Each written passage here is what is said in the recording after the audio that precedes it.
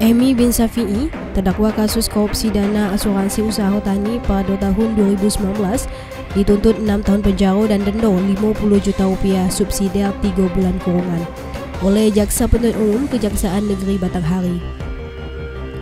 Tuntutan dibacakan jaksa pada sidang yang digelar di Pengadilan Negeri Jambi Jumaat pagi.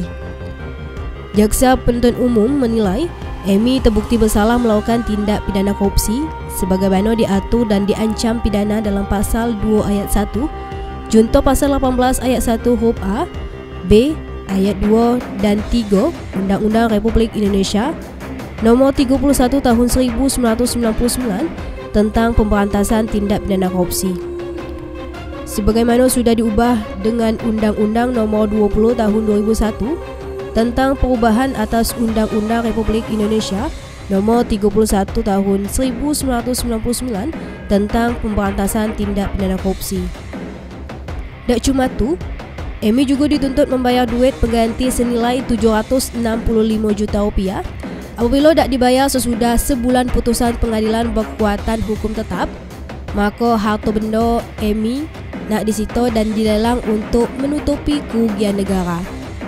Kalau Amy tak punya harta benda yang mencukupi, maka diganti dengan kurungan penjara selama 2 tahun 9 bulan.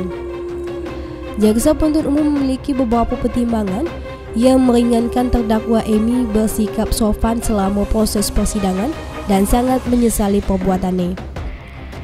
Yang memberatkan terdakwa Amy tak mendukung program pemerintah dalam pemberantasan tindak pidana korupsi. Atas tuntutannya, Terdakwa Amy di persidangan nak mengajukan pembelaan pada sidang selanjutnya yang akan digelar pada Kamis 6 Mei 2021 di Pengadilan Tipikor Jambi. Solehan Sauf, Jambi TV.